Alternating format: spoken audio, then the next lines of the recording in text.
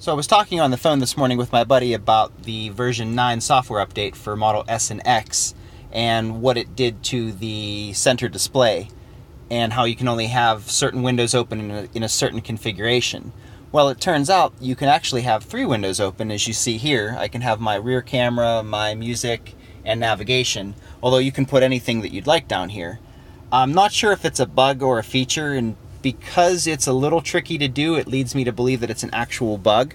But what it is, is all you have to do is have whatever you would like open here. Let's just say it's the camera. I can then switch into music and then putting your finger here you can drag up. Now normally it just replaces that window, but if you get a second finger on here and pull up, letting go of the camera while still holding your finger on the music when you let go, it'll stay locked into place.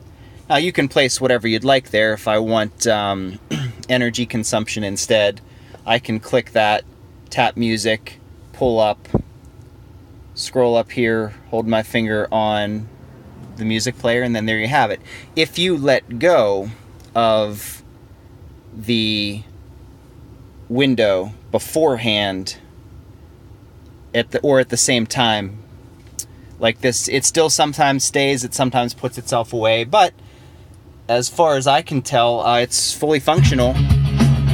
Don't want to get a copyright infringement but you can still use it the camera still works so that is that's pretty awesome.